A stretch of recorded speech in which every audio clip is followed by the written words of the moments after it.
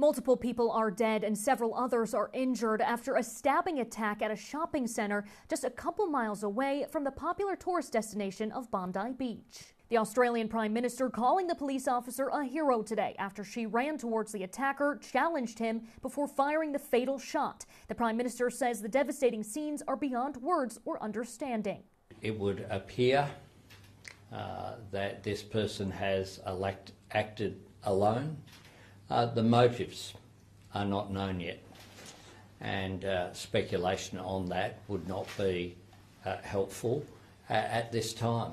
King Charles III issuing a statement as well, saying he and the Queen were utterly shocked and horrified by the senseless attack, and that their hearts go out to the families and loved ones of those who have been so brutally killed.